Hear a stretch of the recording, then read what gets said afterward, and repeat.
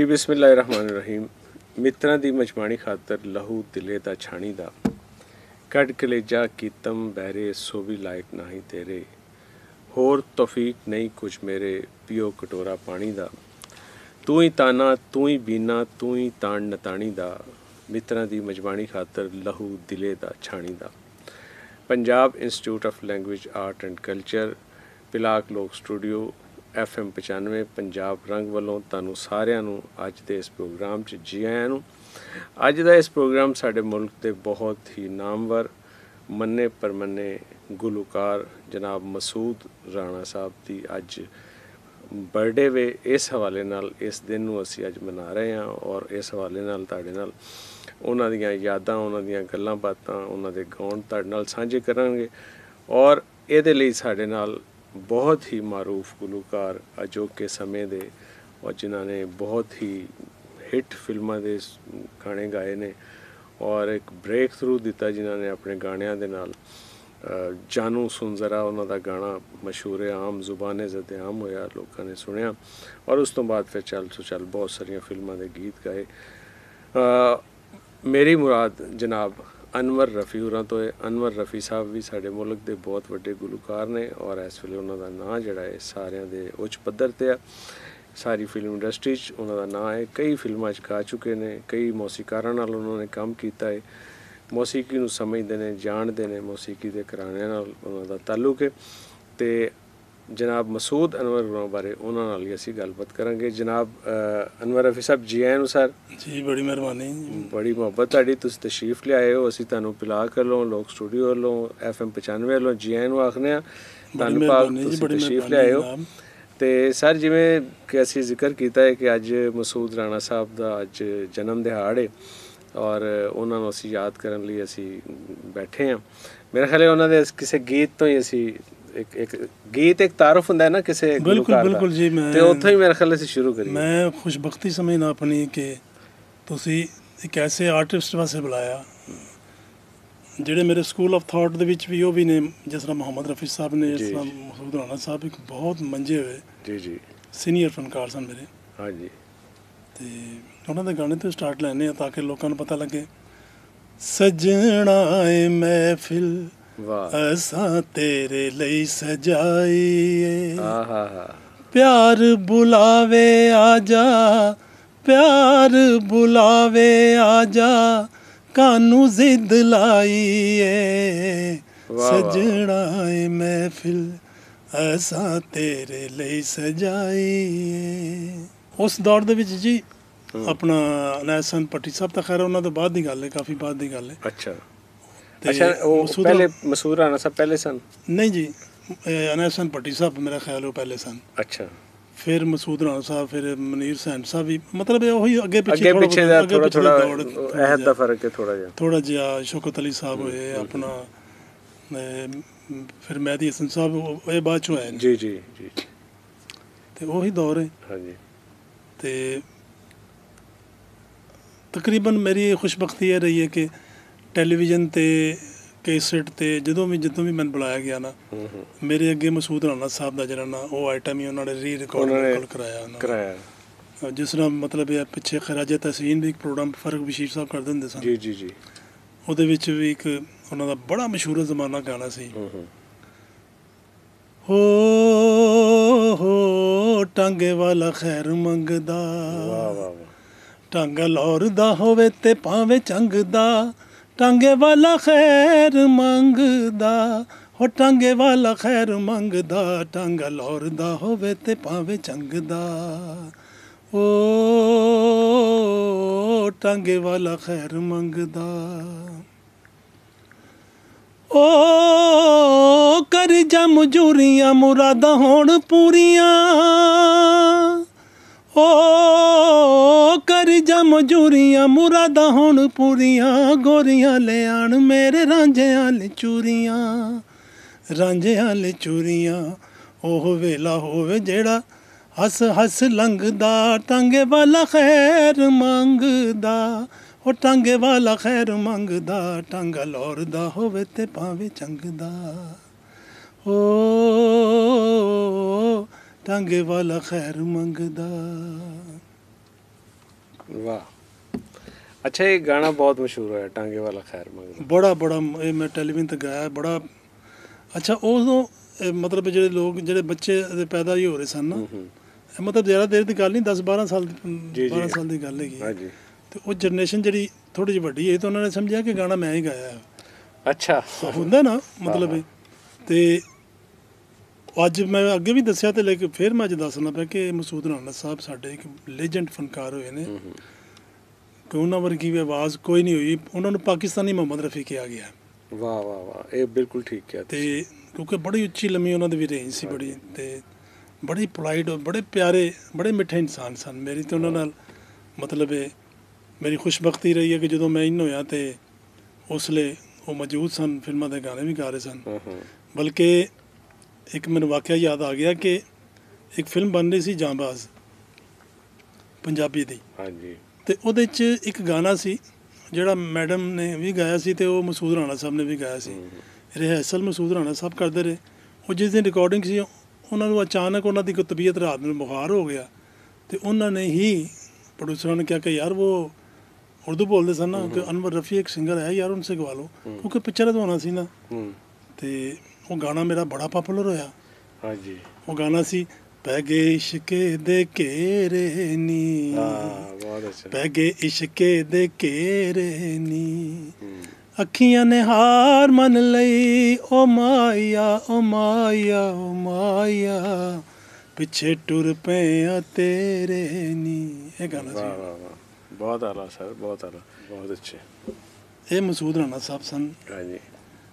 ਤੇ ਅੱਜ ਵੀ ਆਪਣੇ ਵਿਊਜ਼ ਦੇ ਵਿੱਚ ਆਪਣੇ ਪਿਆਰ ਕਰਨ ਵਾਲਿਆਂ ਦੇ ਵਿੱਚ ਔਰ ਸਾਡੇ ਵਰਗੇ ਆਰਟਿਸਟਾਂ ਦੇ ਵਿੱਚ ਜਿਨ੍ਹਾਂ ਨੇ ਉਹਨਾਂ ਨੂੰ ਵੇਖਿਆ ਸਾਡੇ ਦਿਲਾਂ 'ਚ ਜ਼ਿੰਦਾ ਨੇ। ਔਰ ਹਮੇਸ਼ਾ ਜ਼ਿੰਦਾ ਰਹਿਣਗੇ ਅੱਲਾਹ ਤਾਲਾ ਉਹਨਾਂ ਨੂੰ ਕਰਬਟ ਕਰਬ ਜੰਨਤ ਨਸੀਬ ਕਰੇ ਪਰਵਰਦੀਗਾਰ। ਬੜੇ ਵੱਡੇ ਆਰਟਿਸਟ ਹਨ ਸਰ ਮਸੂਦ ਰਾਣਾ ਸਾਹਿਬ ਦੇ ਬੱਚੇ ਨੇ? ਉਹਨਾਂ ਦੇ ਬੱਚੇ ਮੇਰਾ ਖਿਆਲ ਇੰਗਲੈਂਡ ਚਲੇ ਗਏ ਨੇ। ਅੱਛਾ ਫੈਮਿਲੀ ਉਹਨਾਂ ਉਹਨਾਂ ਦੀ ਦੇ ਬ੍ਰਦਰ ਲਾ ਨਾਲ ਮੇਰੀ ਅਕਸਰ ਮੁਲਾਕਾਤ ਹੁੰਦੀ ਸੀ। ਅੱਛਾ। ਕਿਉਂਕਿ ਮੇਰਾ ਵੀ ਇਲੈਕਟ੍ਰੋਨਿਕਸ ਦਾ ਬਿਜ਼ਨਸ ਸੀ ਤੇ। ਹਾਲੁੱਟ ਤੇ ਮੈਂ ਜਾਣਾ ਸੀ ਤਾਂ ਉਹਨਾਂ ਦੀ ਸ਼ਾਪ ਹੈਗੀ ਸੀ। ਅੱਜ ਵੀ ਮੇਰਾ ਖਿਆਲ ਸ਼ਾਇਦ ਹੋਵੇਗੀ ਹਾਂਜੀ। ਤੇ ਉਹਨਾਂ ਦੇ ਬੱਚੇ ਇੰਗਲੈਂਡ ਸੈੱਟ ਹੋ ਗਏ ਸਾਰੀ ਫੈਮਿਲੀ ਉੱਥੇ ਸੈਟਲ ਸਾਰੀ ਫੈਮਿਲੀ ਇਹ ਉਹਨਾਂ ਚੋਂ ਕੋਈ ਨਹੀਂ ਆਇਆ ਮੌਸੀਕੀ ਵੱਲ? ਨਹੀਂ ਉਹਨਾਂ ਚੋਂ ਉਸ ਤੋਂ ਬਾਅਦ ਕੋਈ ਨਹੀਂ ਆਇਆ।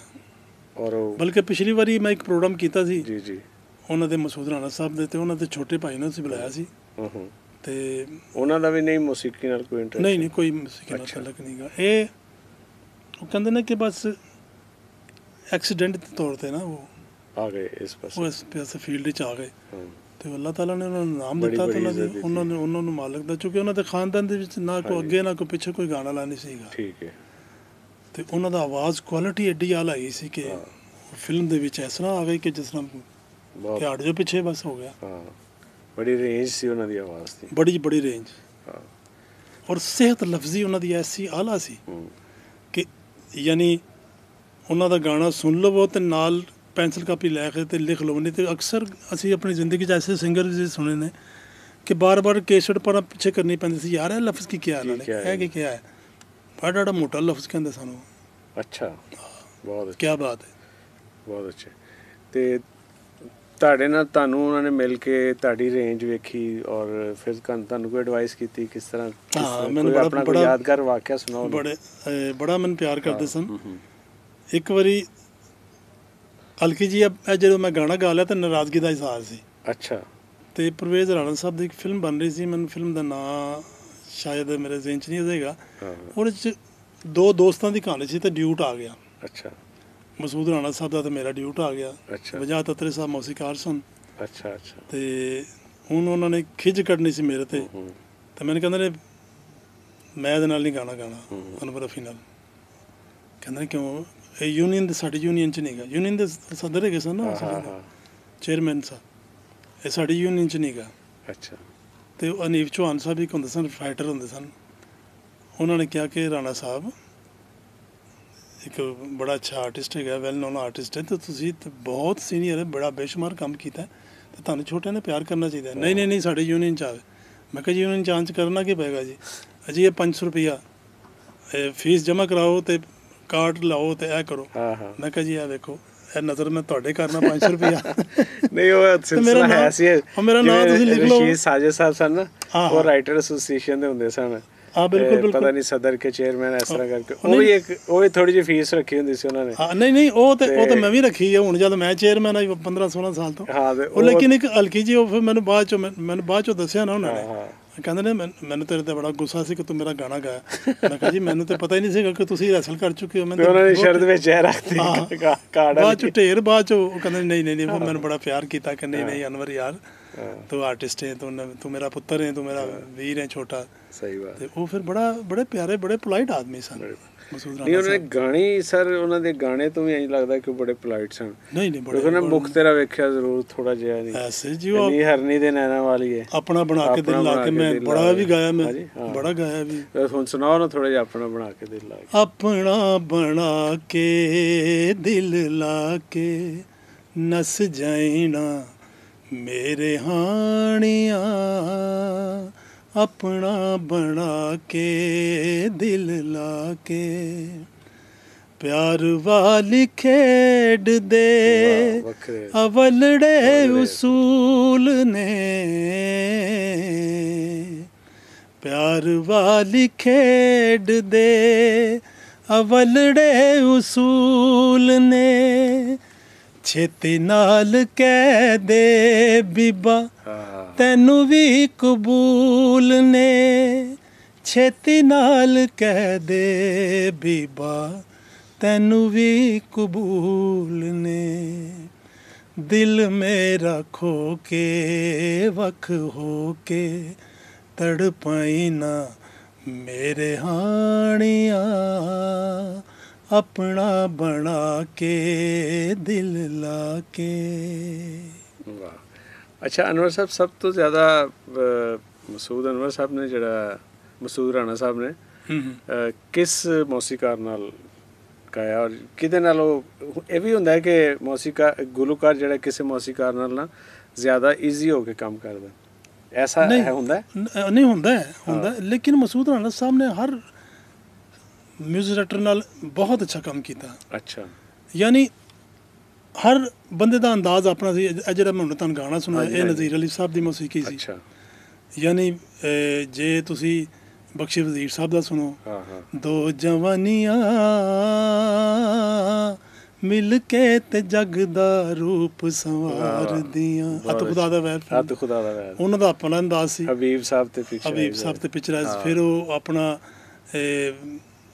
ਨਸ਼ਾਦ ਸਾਹਿਬ ਨਸ਼ਾ ਸਾਹਿਬ हम्म? ਹਾਂਜੀ। मेरे दिल की है आवाज के बिछड़ा यार मिलेगा ਵਾਹ ਵਾਹ ਵਾਹ मुझे अपने रब से आस के मेरा प्यार मिलेगा ਵਾਹ मेरे दिल की है आवाज के बिछड़ा ਵਾਹ, यार ਵਾਹ, मिलेगा ਬਹੁਤ ਅੱਛਾ ਉਹ ਐਸੇ ਫਨਕਾਰ ਸਨ ਕਿ ਜਿਹੜਾ ਵੀ ਮੌਸੀਕਾਰ ਜੋ ਲਿਆਂਦਾ ਸੀ ਨਾ ਉਹਦੇ ਵਿੱਚ ਰੰਗ ਜਾਂਦੇ ਸਨ ਰਚ ਜਾਂਦੇ- ਸਨ। ਉਹ ਯਾਨੀ ਉਹ ਦੌਰ ਹੋਗਾ ਸੀ ਮੈਂ ਤਾਂ ਖੈਰ ਬਹੁਤ ਬਾਅਦ ਚ ਹੋਇਆ ਨਾ ਕਿ ਸਿੰਗਰ ਦੱਸ ਦਿੰਦਾ ਸੀ ਕਿ ਇਹ ਅੰਦਾਜ਼ ਕਿਹਦਾ ਹੈ ਵਾਹ।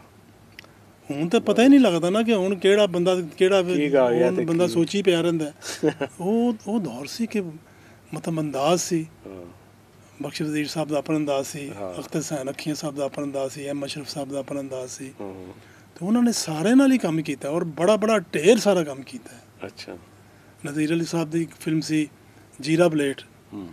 ਯਾਨੀ ਮੁਨੱਵਰ ਜ਼ਰੀਫ ਸਾਹਿਬ ਜੇ ਗਾ ਰਹੇ ਨੇ ਤਾਂ ਇੰਜ ਲੱਗਣ ਡਿਆ ਕਿ ਉਹ ਹੀ ਗਾ ਰਹੇ ਨੇ। ਉਹੀ ਹੈ ਤੇਰੇ ਮਦ ਪਰ ਨੈਣ ਮਿਲ ਪੈਣ ਤੇ ਚੰਦਰਾ ਸ਼ਰਾਬ ਛੱਡ ਦੇ। ਉਹ ਐਕਸਪ੍ਰੈਸ਼ਨ ਕਿੰਨੇ ਲਿਆਂਦੇ ਲੋਕ ਬਲੋਰੀ ਅੱਖਾਂ ਹਾਏ ਦਿਲ ਇਹ ਬਲੋਰੀ ਅੱਖਾਂ ਅੱਖਾਂ ਨਾਲ ਖੈਣ ਤੇ ਚੰਦਰਾ ਸ਼ਰਾਬ ਛੱਡ।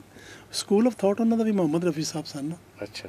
ਤੇ ਉਹ ਇਸ ਵਜ੍ਹਾ ਕਰਕੇ ਉਹਨਾਂ ਦੇ ਵਿੱਚ ਉਹਨਾਂ ਦੀ ਆਵਾਜ਼ 'ਚ ਨਿਖਾਰ ਸੀ ਉਹ ਰੇਂਜ ਸੀ ਉਹ ਗੁਫ਼ਤਗੂ ਸੀ ਉਹ ਤਲਫੁਜ਼ ਸੀ ਉਹ ਸੁਰ ਸੀ ਉਹਨਾਂ ਦਾ। ਔਰ ਉਹੀ ਤਬੀਅਤ ਸੀ ਉਹਨਾਂ ਦੀ। ਤੇ ਬੜਾ ਉਹਨਾਂ ਨੇ ਕੰਮ ਕੀਤਾ ਮਾਸ਼ਾਅੱਲਾ ਉਹਨਾਂ ਨੇ ਬੜਾ ਹੀ ਕੰਮ ਕੀਤਾ। ਹਰ ਐਕਟਰ ਤੇ ਉਹਨਾਂ ਦਾ ਗਾਣਾ ਹੋਇਆ। ਤਕਰੀਬਨ ਉਰਦੂ ਪੰਜਾਬੀ ਚ ਹਰ ਉਹਨਾਂ ਨੇ ਜੀ ਜੀ ਬਿਲਕੁਲ ਬਿਲਕੁਲ। ਨਾਤਾਂ ਵੀ ਬੜੀਆਂ ਉਹਨਾਂ ਨੇ ਗਾਈਆਂ ਉਹਨਾਂ ਦੀ ਇੱਕ ਨਾਤ ਬੜੀ ਮਸ਼ਹੂਰ ਸੀ ਫਿਲਮ ਇੱਕ ਆਈ ਸੀ ਦੋਸਤੀ। ਉਹਦੇ ਚ ਉਹਨਾਂ ਦੀ ਨਾਤ ਸੀ ਕਰਮ ਕੀ ਇੱਕ ਨਜ਼ਰ ਹਮ ਪਰ ਬੜੀ ਮਸ਼ਹੂਰ ਖੁਦਾਰਾ ਯਾ ਰਸੂਲ ਅੱਲਾ तुम ही हो बेसहारों का। सहारा। सहारा या रसूल अल्लाह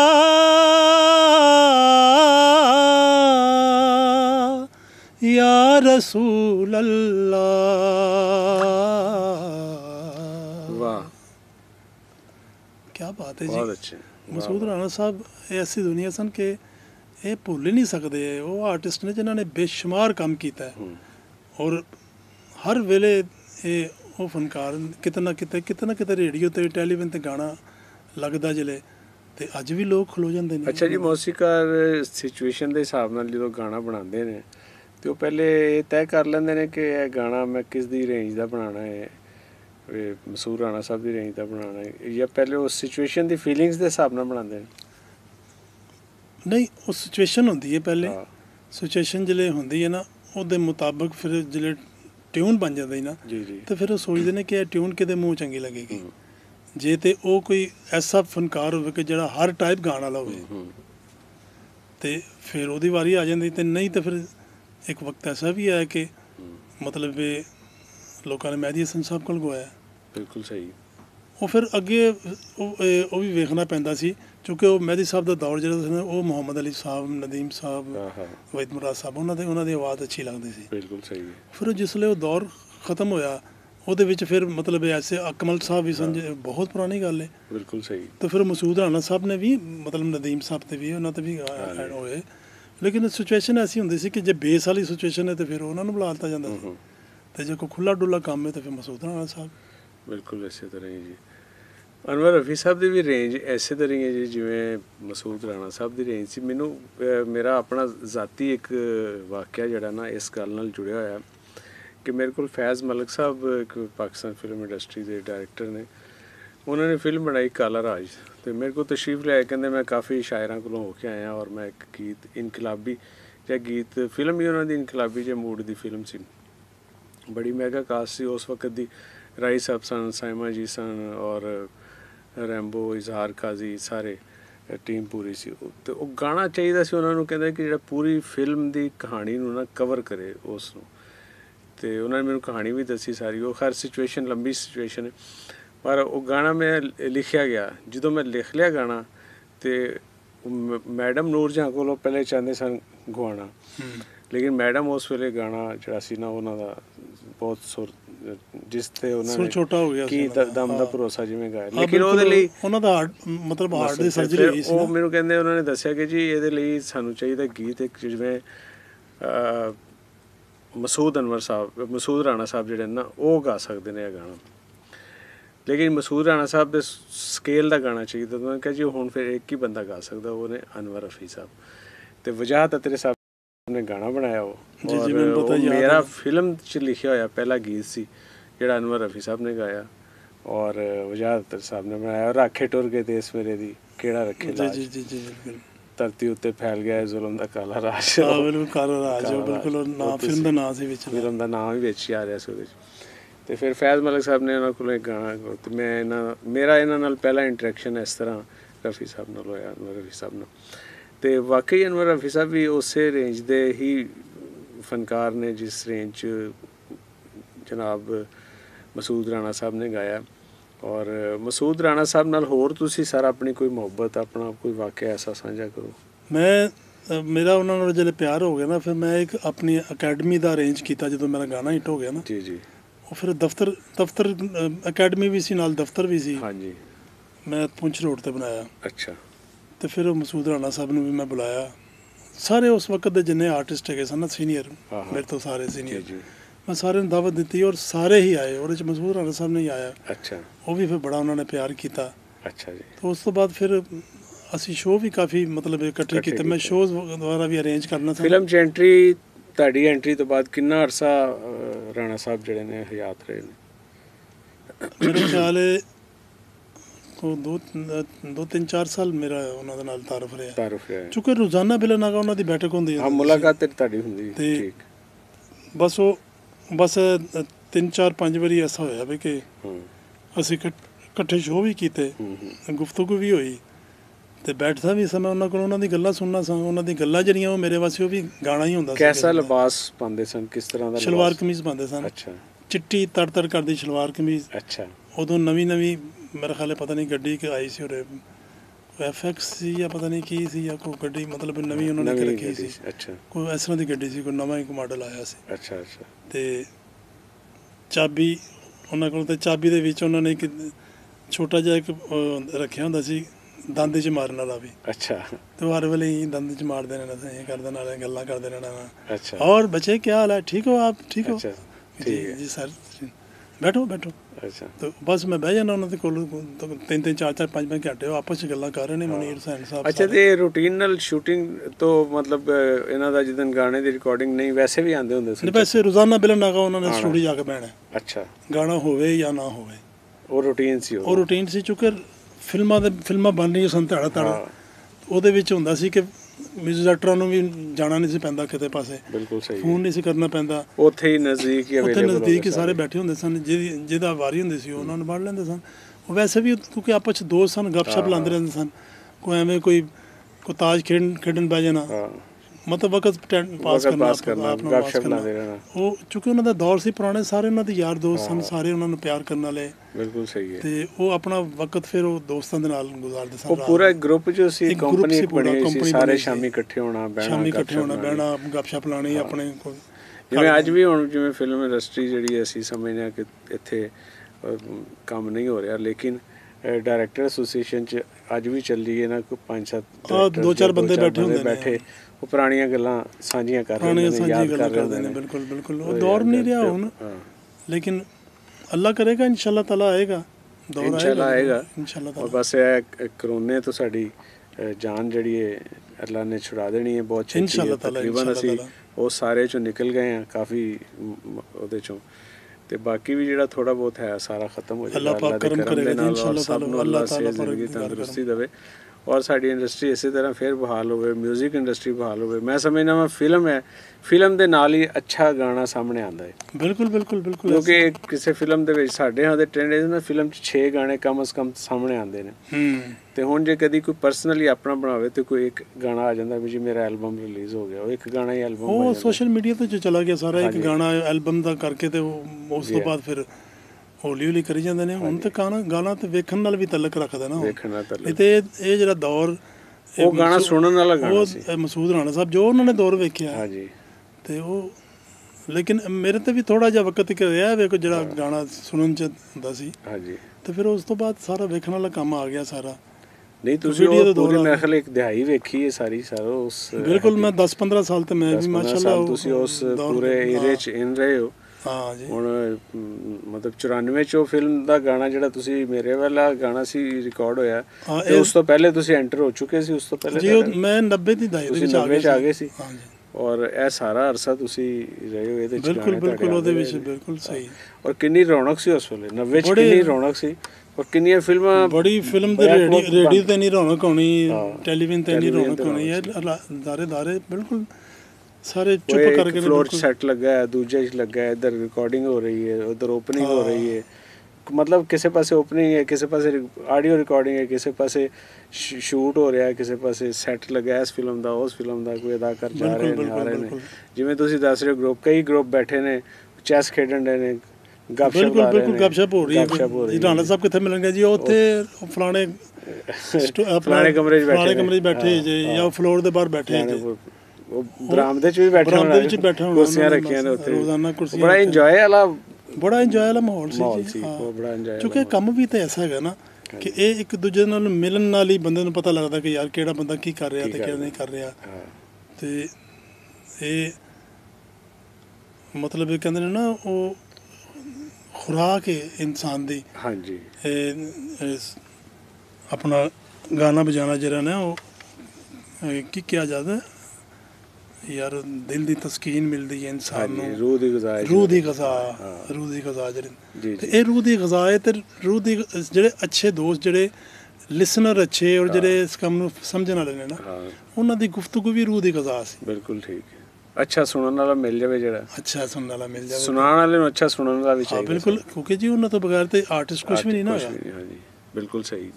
ਬਿਲਕੁਲ ਠੀਕ ਹੈ। ਪਬਲਿਕ ਅੱਛੀ ਹੋਵੇ ਅੱਗੇ ਸੁਣਨ ਵਾਲੇ ਲੋਕ ਬੈਠੇ ਹੋਣ ਤਾਂ ਫਿਰ ਆਰਟਿਸਟ ਨੂੰ ਸੁਣਾਉਣ ਦਾ ਵੀ ਮਜ਼ਾ ਕੋਈ ਹੋਰ। ਗਾਣਾ ਤੁਹਾਡੇ ਜ਼ਿਹਨ ਚ ਹੋਵੇ ਰਾਣਾ ਸਾਹਿਬ ਦਾ ਇਸ ਵੇਲੇ ਤੇ?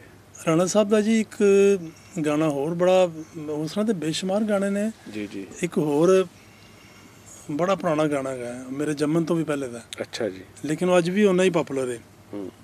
ਹੋ ਗਿਆ ਵੀ। ਹੋ ਆਸ਼ਕਾਂ ਤੋਂ ਸੋਹਣਾ ਮੁਖੜਾ। ਲੋਕਾਣ ਲਈ। ਸੱਜਣਾ ਨੇ ਬੂਏ ਅੱਗੇ ਚਿਖ ਤਾਣ ਲਈ। ਚਿਖ ਤਾਣ ਲਈ ਉਹ ਚਿਖ ਤਾਣ ਲਈ। ਸੱਜਣਾ ਨੇ ਬੂਏ ਅੱਗੇ ਚਿਖ ਤਾਣ ਲਈ। ਹੋ ਆਸ਼ਕਾਂ ਤੋਂ ਸੋਹਣਾ ਮੁਖੜਾ ਲੁਕਾਣ ਲਈ। ਸੱਜਣਾ ਨੇ ਬੂਏ ਅੱਗੇ ਚਿਖ ਤਾਣ ਲਈ। ਇਹ ਨਹੀਂ ਸੱਜਣਾ ਉਸੂਲ ਪਿਆਰ ਦੇ। ਤੱਕਣਾ ਜੇ ਨਹੀਂ ਸਾਨੂੰ ਗੋਲੀ ਮਾਰ ਦੇ ਗੋਲੀ ਮਾਰ ਦੇ। ਟੜ ਟੜ ਟੜ ਟਣ ਟਣ ਟਣ ਇਹ ਨਹੀਂ ਸੱਜਣਾ ਉਸੂਲ ਪਿਆਰ ਦੇ ਤੱਕਣਾ ਜੇ ਨਹੀਂ ਸਾਨੂੰ ਗੋਲੀ ਮਾਰ ਦੇ ਗੋਲੀ ਮਾਰ ਦੇ ਅਸੀਂ ਦੂਰ ਬੈਠੇ ਅੱਖੀਆਂ ਮਿਲਾਣ ਲਈ ਸੱਜਣਾ ਨੇ ਬੂਏ ਅੱਗੇ ਚਿਖਤਾਣ ਲਈ ਚਿਖ ਤਾਣ ਲਈ ਉਹ ਚਿਖ ਤਾਣ ਲਈ ਸੱਜਣਾ ਨੇ ਬੂਏ ਅੱਗੇ ਚਿਖਤਾਣ ਲਈ ਬਹੁਤ ਅੱਛਾ ਬਹੁਤ ਅੱਛਾ ਅੱਛਾ ਅਨਵਰ ਸਾਹਿਬ ਇਹ ਦੱਸੋ ਕਿ ਉਸ ਵਕਤ ਤੇ ਗਾਣਾ ਲਾਈਵ ਹੀ ਤਕਰੀਬਨ ਰਿਕਾਰਡ ਹੁੰਦਾ ਸੀ। ਹੁੰਦਾ ਹੀ ਲਾਈਵ ਸੀ ਜੀ। ਠੀਕ ਹੈ ਨਾ ਹੁਣ ਜਿਹੜਾ ਗਾਣਾ ਹੈ ਉਹ ਮਤਲਬ ਉਹਦੇ ਚ ਕਈ ਸਾਨੂੰ ਮਿਲ ਜਾਂਦੇ ਨੇ ਸਹਾਰੇ ਮਿਲ ਜਾਂਦੇ ਨੇ। ਖਕਾਨ ਸਾਹਿਬ ਪਤਾ ਕੀ ਗੱਲ ਕੀ ਹੈ? ਇਹ ਉਹ ਦੌਰ ਸੀ ਕਿ ਜਿਹੜਾ ਬੰਦਾ ਮਿਹਨਤ ਕਰਦਾ ਸੀ ਨਾ। ਉਹ ਹੀ ਅੱਗੇ ਆਂਦਾ ਸੀ। ਚੁੱਕੇ ਇਹ ਵੱਡੇ ਲੋਕ ਜਿਹੜੇ ਜਿਨ੍ਹਾਂ ਚ ਮਸੂਦ ਰਾਣਾ ਸਾਹਿਬ ਵੀ ਸ਼ਾਮਿਲ। ਨੇ ਇਹਨਾਂ ਦੇ ਸਾਹਮਣੇ ਆ ਕਰਨਾ ਡਰ ਲੱਗਦਾ ਸੀ। ਅੱਛਾ। ਚੁੱਕੇ ਆਰਕੈਸਟਰਾ ਬੈਠਾ ਹੈ 100 ਬੰਦਾ ਬੈਠਾ ਹੈ ਆਰਕੈਸਟਰਾ ਤੇ ਉਹਦੇ ਸਾਹਮਣੇ ਲਾਈਵ ਗਾਣਾ ਤੇ ਜੇ ਬੰਦਾ ਭੁੱਲ ਗਿਆ ਤਾਂ ਸ਼ਰਮਿੰਦਗੀ। ਤੇ ਉੱਥੇ ਤੇ ਉਹਨੇ ਗਾਣਾ ਹੀ ਉਹਨੇ ਜਿਹਨੇ ਲਾਈਵ ਗਾਣਾ। ਉੱਥੇ ਮਾਫੀ ਕੋਈ ਨਹੀਂ। ਮਾਫੀ ਕੋਈ ਨਹੀਂ ਹੈਗੀ। ਤੇ ਇਹ ਤੇ ਬਹੁਤ ਬਾਅਦ ਚੋਂ ਆਇਆ ਨਾ ਇਹ ਤੇ ਮੇਰੇ ਦੌਰ ਦੇ ਵਿੱਚ ਆਇਆ ਨਾ ਟੈਸਕਮ ਸਿਸਟਮ ਤੇ। ਕੰਪਿਊਟਰ ਸਿਸਟਮ ਤੇ ਜਿਹੜੇ ਹੁਣ ਤੇ ਹਰ ਦੂਸਰਾ ਬੰਦਾ ਕਹਿੰਦਾ ਜੀ ਮੈਂ ਗਾਉਣਾ ਵਾ। ਮੈਂ ਇੱਕ ਗਾਉਣਾ ਇੱਕ ਪੀਸ ਗਾ ਕੇ ਵੀ ਰੱਖੇ ਜਾ ਕਿ ਸਕਦੇ ਕਿ ਨੇ। ਲਫ਼ਜ਼ ਹੈ ਤੁਸੀਂ ਐਡ ਕਰ ਸਕਦੇ ਹੋ automatic। ਕੱਲਾ ਕੱਲਾ ਗਾਇਆ ਹਾਂ ਜਾਂਦਾ। ਕੱਲਾ ਕੱਲਾ ਗਾਇਆ ਜਾਂਦਾ। ਤੇ ਉਹਦੇ ਪੂਰਾ ਗਾਣਾ ਇਕੱਠਾ ਰਿਕਾਰਡ ਹੁੰਦਾ ਇਕੱਠਾ ਰਿਕਾਰਡ ਨਾ ਜੇ ਕੇ- ਭੁੱਲ ਗਿਆ ਜੇ ਕੋਈ ਮਿਊਜ਼ੀਸ਼ੀਅਨ ਭੁੱਲ ਗਿਆ ਤੇ ਫਿਰ ਹਾਂ। ਦੁਬਾਰਾ ਰੀਟੇਕ ਹਾਂ। ਜੇ ਸਿੰਗਰ ਭੁੱਲ ਗਿਆ ਤਾਂ ਫਿਰ ਫਿਰ ਰੀਟੇਕ ਫਿਰ ਦੁਬਾਰਾ। ਹਾਂ। ਮਤਲਬ ਕਿ ਕਈ ਵਾਰੀ ਐਸਾ ਚਾਂਸ ਹੁੰਦਾ ਹੈ। ਮੈਨੂੰ ਅੱਜ ਤੱਕ ਯਾਦ ਹੈ ਮੇਰੇ ਅੱਬਾ ਜੀ ਮੈਨੂੰ ਗੱਲ ਪੇ ਸੁਣਾਉਣ ਕਿ ਮੁਨੀਰ ਹੁਸੈਨ ਸਾਹਿਬ ਹੂੰ, ਬੜੇ ਵੱਡੀ ਦੁਨੀਆ ਨੂੰ ਵੀ ਜੀ ਜੀ। ਕਹਿੰਦੇ ਨੇ ਇੱਕ ਵਾਰੀ ਅਸੀਂ ਬੈਠੇ ਉੱਥੇ ਤੇ ਉਹਨਾਂ ਨੇ ਪਹਿਲਾ ਗਾਣਾ ਰਿਕਾਰਡ ਕਰਿਆ ਰਸ਼ੀਦ ਅਤਰੀ ਸਾਹਿਬ ਨੇ ਕਰਾਰ ਲੂਟਨੇ ਵਾਲੇ ਕਰਾਰ ਕੋ। ਤਰਸੇ। ਵਾਹ ਵਾਹ। ਕਹਿੰਦੇ ਚੁੱਕਿਓ ਉਹਨਾਂ ਦੇ ਭਾਂਜੇ ਸਨ। ਤੇ ਉਹਨਾਂ ਨੇ ਉਹਨਾਂ ਨੂੰ ਫੀਲਡ 'ਚ ਲਿਆਣਾ ਸੀ। ਹਾਲਾਂ ਉਹ ਦੌਰ ਨਹੀਂ ਸੀਗਾ ਐਡੀਟਿੰਗ ਵਾਲਾ। ਲੇਕਿਨ ਉਹਨਾਂ ਨੇ ਐਡੀਟਿੰਗ ਕਰਕੇ 30 ਟੇਕਾਂ ਉਹਨਾਂ ਕੋਲ ਲੈ ਕੇ ਨਾ 30 ਟੇਕਾਂ ਲਿੱਤੀਆਂ ਉਹਨਾਂ ਕੋਲ। ਅੱਛਾ। ਤੇ ਉਹ ਐਡੀਟਿੰਗ ਕਰਕੇ ਤੇ ਉਹ ਗਾਣਾ ਰਿਕਾਰਡ ਕੀਤਾ ਸੀ। ਅੱਛਾ ਉਹਨੂੰ ਜੋੜ ਕੇ ਗਾਣਾ ਤੇ ਉਹਨੂੰ ਅੱਗੇ ਲਿਆਂਦੇ ਉਹ ਗਾਣਾ ਐਡਾ ਸੁਪਰ ਹਿੱਟ ਹੋਇਆ ਫਿਰ ਉਹ ਗੈਰਤਮੰਦ ਆਦਮੀ ਸਨ। ਉਹਨਾਂ ਨੇ ਫਿਰ ਇੰਨੀ ਕੁ ਮਿਹਨਤ ਕੀਤੀ ਫਿਰ ਉਹਨਾਂ ਨੇ ਐਸਾ ਐਸਾ ਗਾਇਆ ਮਨੀਰ ਹੁਸੈਨ ਸਾਹਿਬ ਨੇ। ਉਹ ਦੱਸਣ ਦਾ ਮਕਸਦ ਹੈ ਕਿ ਬਾਅਦ ਵੇਲੇ ਲੋਕਾਂ ਨੂੰ ਪਤਾ ਨਹੀਂ ਸੀ ਹੁੰਦਾ ਕਿ ਯਾਰ ਇਹ ਕੰਮ ਆਸਾਨ ਹੈ ਤੇ ਜਿਹੜਾ ਆਸਾਨ ਸਮਝਦਾ ਸੀ ਨਾ ਉਹ ਤਾਂ ਫਿਰ ਉਹ ਤੇ ਇਹ ਤਾਂ ਨੰਗੀ ਤਲਵਾਰ ਹੈ। ਬਿਲਕੁਲ ਸਹੀ ਹੈ। ਮਾਇਕ। ਬਿਲਕੁਲ ਸਹੀ ਹੈ। ਕੋਈ ਗਾਣਾ ਐਸਾ ਹੈ ਜਿਹਦੇ ਨਾਲ ਅਸੀਂ ਪ੍ਰੋਗਰਾਮ ਨੂੰ ਫਿਰ ਵਾਈਂਡ ਅਪ ਕਰੀਏ ਤੁਸੀਂ ਤੁਹਾਡੇ ਜ਼ਿਹਨ ਚ? ਇੱਕ ਗਾਣਾ ਫਿਲਮ ਮਲੰਗੀ ਹੂੰ। ਉਹਦਾ ਵੀ ਮੈਨੂੰ ਗਾਣਾ। ਉਹਦਾ ਗਾਣਾ ਮੈਨੂੰ ਜ਼ਿਹਨ ਚ ਸਤਾਈ ਹੈਗੀ ਹੈ ਜ਼ਿਹਨ ਚ। ਹੂੰ। ਉਹ ਵੀ ਗਾਣਾ ਬੜਾ ਚੱਲਿਆ ਸੀ ਆਪਣੇ ਦੌਰ ਦੇ ਵਿੱਚ। ਰੱਜ ਕੇ ਖੇਡਾਂ ਖੇਡ ਲੈ ਸਜਣਾ। ਮੁੜ ਇਹ ਵੇਲਾ ਨਹੀਂ ਲੱਭਣਾ। ਮੁੜ ਕੇ ਪੈਨ ਪਰੋਣੇ ਸ਼ਾਲਾ ਕੋਈ ਕਿਸੇ ਦਾ ਯਾਰ ਨਹੀਂ। ਕੋਈ ਕੋਈ ਯਾਰ ਗਰੀਬ ਦਾ ਬਣਦਾ ਕੋਈ ਇਹ ਸੌਖੀ ਕਾਰ ਨਹੀਂ। ਜੇ ਕੋਈ ਖੌਫ ਖੁਦਾ ਦਾ ਖਾਵੇ ਸੀਨੇ ਨਾਲ ਗਰੀਬ ਨੂੰ ਲਾਵੇ ਕੀਤਾ ਆਪਣਾ ਪਾਵੇ ਸ਼ਾਲਾ। ਕੋਈ ਕਿਸੇ ਦਾ ਯਾਰ ਨਹੀਂ।